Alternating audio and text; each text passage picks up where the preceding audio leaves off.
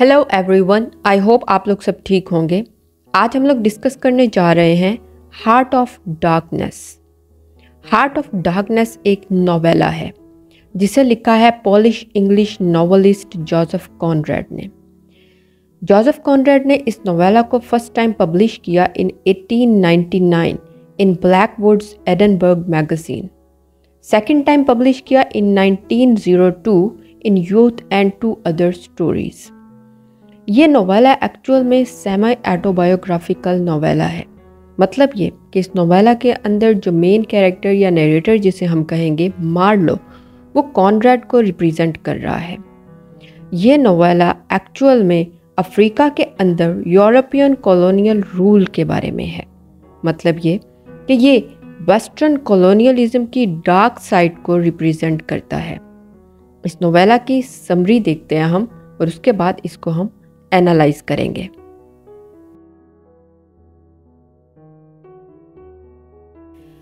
Heart of darkness Marlowe, जो कि कहानी का नरेटर है, वो थेम्स रिवर में एक कश्ती पर सवार अपने दोस्तों को, अपनी माजी की एक दिलचस्प कहानी सुनाता है। ये कहानी तब की है जब उसे काम की बहुत ज़्यादा तलाश थी, और वो अपनी आंटी के ज़रिए एक बेल्जियन कॉलोनियल फर्म नामी कंपनी में काम हासिल करने में कामयाब हो जाता है। ये कंपनी अफ्रीका में आइवरी, जिसे हम हाथी दांत कहते हैं, उसकी तजारत करती है। मार्लो को कश्ती में कैप्टन का काम मिलता है। वो कंपनी के ज़रिए कश्ती से कुछ यूरोपियंस और अफ्रीकन्स, जिन्हें कॉनरेड कैनिबल्स का नाम देता है, उनके साथ अफ्रीका के इलाके कोंगो के लिए रवाना हो जाता है। वो इंग्लिश कंपनी के कोंगो में कायम करदा स्टेशंस पर मकामी लोगों के साथ जुल्म और ज्यादती देखकर बहुत हैरान होता है। मार्लो कंपनी के आउटर स्टेशन पर पहुँचता है, जहाँ कंपनी के एजेंट मकामी लोगों से ज़बरदस्ती काम करवाते नज़र आते हैं। एक घने जंगल के दरमियान मौजूद स्टेशन में मकामी लोगों को इस तरह से इस्तेमाल होते देखकर मार्लो हैरान हो जाता है। आउटर स्टेशन के बाद कश्ती में सवार होकर मार्लो सेंट्रल स्टेशन पहुँचता है, जहाँ वो जनरल मैनेजर से मिलता है। जनरल मैनेजर एक बहुत ही बद इखलाक इंसान है। सेंट्रल स्टेशन पहुंचकर मार्लो को पता चलता है कि उसकी कश्ती को तबाह कर दिया गया है। वो कई माह कश्ती ठीक होने के इंतज़ार में सेंट्रल स्टेशन पर गुजार देता है। वहाँ पर रहते हुए मार्लो को एक मिस्टीरियस आदमी के बारे में पता चलता है, जिसका नाम है कर्ट्स। कर्ट्स एक कॉलोनियल एजेंट है और आइवरी का बहुत बड़ा ताजर भी। मार्लो को पता चलता है कि कर्ट्स बहुत ज़्यादा बीमार है। वो उससे मिलने के लिए बहुत बेताब हो जाता है। कश्ती के सही हो जाने के बाद मार्लो, जनरल मैनेजर, कुछ एजेंट्स और कुछ कैनिबल्स के साथ कर्ट्स के इनर स्टेशन की तरफ़ सफ़र शुरू कर देता है। घने जंगल की खामोशी से मार्लो बहुत ज़्यादा परेशान हो जाता है। रस्ते में वो लोग एक झोंपड़ी के पास से भी गुजरते हैं, जिसमें लकड़ियाँ रखी होती हैं और उस पर लिखा होता है, एहतियात से इसके करीब जाएँ। मार्लो और बाकी लोग कश्ती में लकड़ियाँ जमा कर लेते हैं और अपने सफ़र को दोबारा शुरू कर लेते हैं। सफ़र शुरू करने के बाद कश्ती के इर्द गिर्द बहुत ज़्यादा धुंध इकट्ठा हो जाती है। धुंध देखकर मार्लो बहुत परेशान हो जाता है, लेकिन वो धुंध थोड़ी ही देर में ख़त्म हो जाती है। धुंध ख़त्म होने के बाद मकामी लोग मार्लो और बाकी लोगों पर हमला कर देते हैं। मार्लो मकामी लोगों को डराकर भगाने में कामयाब हो जाता है, लेकिन हमले के दौरान अफ्रीकन सरबरा मारा जाता है। मार्लो और बाकी लोग सफ़र को दोबारा शुरू करते हैं। और कुछ देर के सफ़र के बाद मार्लो और उसके साथी इनर स्टेशन पर पहुँच जाते हैं, जहाँ पर वो एक पागल रशियन ताजर से मिलते हैं। वो उन्हें कर्ट्स के बारे में बताता है और ये भी बताता है कि झोंपड़ी में लकड़ियाँ उसने रखी थी। वो आदमी मार्लो को बताता है कि कर्ट्स कोई आम आदमी नहीं है, बल्कि मकामी लोगों के लिए एक खुदा की तरह है। मार्लो कर्ट्स के जुल्म का अंदाज़ा उसके स्टेशन के इर्द गिर्द लगी बाढ़ पर लटकी हुई खोपड़ियों से लगाता है, लेकिन लोग उसे खुदा की तरह मानते हैं। कुछ लोग कर्ट्स को स्ट्रेचर पर स्टेशन से बाहर लेकर आते हैं और बहुत से मकामी लोग उसके इर्द गिर्द इकट्ठा हो जाते हैं, जिन्हें कर्ट्स इशारे से दूर भगा देता है।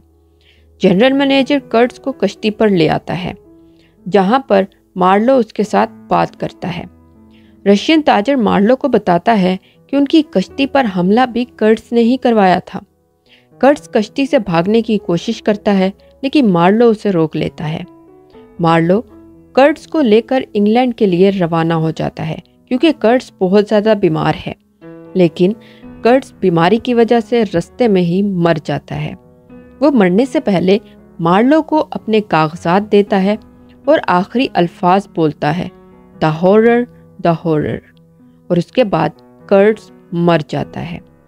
मार्लो बहुत परेशान हो जाता है, लेकिन वो इंग्लैंड उन कागजात के साथ वापस पहुँच जाता है, और कर्ट्स की अमानत उसकी फ्योंसी को दे देता है, और यहाँ पर यह कहानी ख़त्म हो जाती है। समरी को हमने देख लिया, अब इसका थोड़ा एनालिसिस कर लेते हैं हम। हार्ट ऑफ़ डार्कनेस एक्चुअल में एक फ्रेम स्टोरी है। हम इसमें देखते हैं story with in a story एक स्टोरी जो हम पढ़ रहे हैं और दूसरी स्टोरी जो मार्लो अपने साथी दोस्तों को सुना रहा है। तो ये एक फ्रेम स्टोरी है, जिसके अंदर डिफरेंट थीम्स हैं। फ़र्स्ट थीम इस स्टोरी के अंदर, इस नोवेला के अंदर है रेसिज्म हम देखते हैं कि मार्लो अफ्रीका के इलाके कॉन्गो में जाता है और वहाँ पर जो इंग्लिश एजेंट्स हैं, उनका अफ्रीकन लोगों के साथ जो बर्ताव है, उसे देखकर वो बहुत हैरान होता है और उसे उन लोगों पर तरस भी आता है। वो ये कहता है कि ये लोग भी इंसान हैं, इनके साथ अच्छा बर्ताव करना चाहिए। मतलब ये कि वो उस रेस को अपने से कमतर तो समझता है, लेकिन कहता है कि इनके साथ अच्छा बर्ताव होना चाहिए। उसके अलावा वो उनको सेवेजेस कैनेबल्स ये नाम देता है। तो ये है कि रेसिज्म देखते हैं हम इस नोवेला के अंदर। रेसिज्म के बाद हमारा सेकंड थीम है ग्रीड एंड इम्पीरियलिज्म हम इस नोवेला के अंदर देखते हैं कि कर्ट्स जो कि एक कॉलोनियल एजेंट है, वो कॉन्गो के अंदर जाता है और वहाँ पर जाकर आइवरी की ट्रेडिंग स्टार्ट करता है और वो हर हद से गुजर जाता है। लोग उसे अपना खुदा मानते हैं और वो अपनी पावर का इस्तेमाल करते हुए लोगों के ऊपर जुल्म करता है। इसका अंदाज़ा हमें होता है उसकी जो झोंपड़ी है, उसके इर्द गिर्द लगी बाढ़ पर लोगों की खोपड़ियाँ देखकर।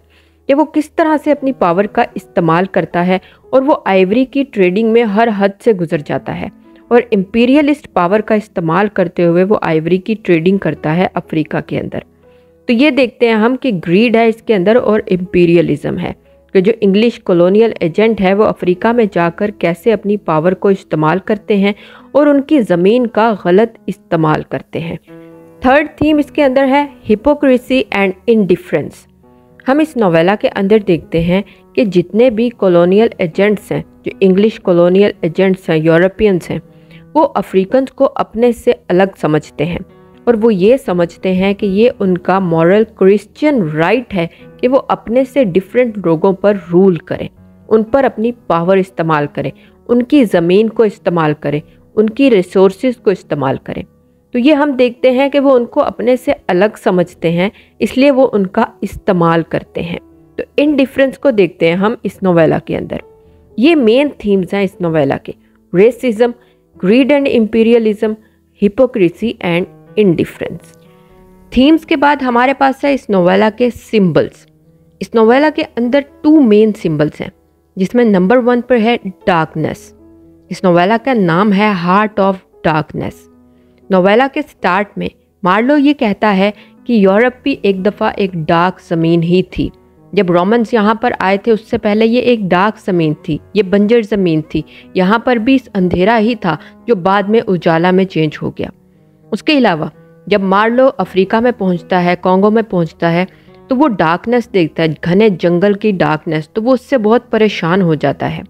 लेकिन ये नोवेला मेनली रिप्रेजेंट करता है डार्कनेस ऑफ़ कॉलोनियल एजेंट्स कि उनके दिल के अंदर की डार्कनेस के वो किस तरह से अफ्रीकन को इस्तेमाल करते हैं, जैसा कि कर्ट्स कर्ट्स का जो काला दिल है, वो किस तरह से लोगों को इस्तेमाल करता है, उन पर जुल्म करता है और उनके लिए एक खुदा बन के रह जाता है। उसके अलावा घने जंगल की जो डार्कनेस है, उसके अंदर लोगों को किस तरह से इस्तेमाल किया जाता है। तो ये मेनली है कि ये इस नोवेला के अंदर डार्कनेस को हम देखते हैं। लोगों के दिलों की डार्कनेस और उसके अलावा उस घने जंगल की डार्कनेस जहाँ पर लोगों को इस्तेमाल किया जाता है और बाहर की दुनिया को उसका अंदाज़ा नहीं होता। उसके बाद सेकंड सिंबल है आइवरी आइवरी को रिप्रेजेंट किया जाता है उसके सफ़ेद रंग की वजह से और वो दो चीज़ों को रिप्रेजेंट करती है। एक तो वाइट यूरोपियन पीपल उनके सफ़ेद रंग को रिप्रेजेंट करती है और उसके अलावा आइवरी खुद भी एक सिंबल बन के रह जाती है। मार्लो जब कॉन्गो में पहुँचता है तो वो देखता है हर इंसान आइवरी के बारे में बात कर रहा है। ऐसा लगता है कि जैसे कॉलोनियल एजेंट्स का जो रिलीजन है वो आइवरी है, वो दिन रात उसके बारे में बात करते हैं, उसकी पूजा में लगे रहते हैं। तो ये मेन सिंबल है आइवरी का। उसके अलावा ये कॉलोनियल एजेंट्स के वाइट कलर को रिप्रेजेंट करती है कि किस तरह से ये उनके साथ रिलेट करती है। आइवरी उनके लिए बनी है, इसलिए वो अफ्रीका के ऊपर वहाँ आते हैं उस एरिया में और आइवरी की ट्रेडिंग स्टार्ट करते हैं। उसके अलावा कर्ट्स उसके जो सर है, वो भी आइवरी कलर का होता है। मार्लो हमें बताता है कि इसका जो सर है, वो आइवरी के कलर का है। तो ये दो मेन सिंबल्स हैं इस नोवेला के अंदर। डार्कनेस डार्कनेस ऑफ़ कॉन्गो और आइवरी जिसकी ट्रेडिंग के लिए यूरोपियंस अफ्रीका जाते हैं और वहाँ पर उन पर अपनी पावर का इस्तेमाल करते हैं।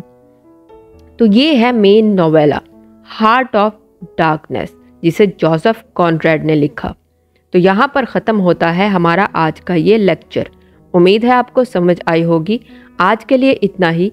मैं मिलूँगी अपनी नेक्स्ट वीडियो में। तब तक के लिए खुदा हाफिज़।